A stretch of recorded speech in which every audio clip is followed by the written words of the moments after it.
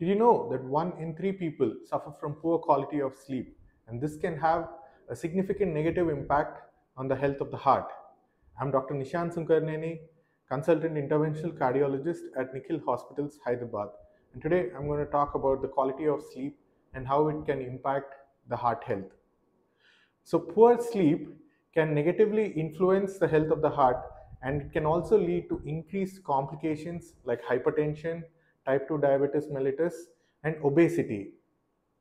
Poor sleep in turn affects dietary patterns. There it will be a negative dietary influence and also associated with increased stress which will eventually lead to increased inflammation in the cardiovascular system which can lead to serious complications like heart attacks and brain strokes. So it is absolutely essential to get at least 7 to 8 hours of good quality of sleep every day.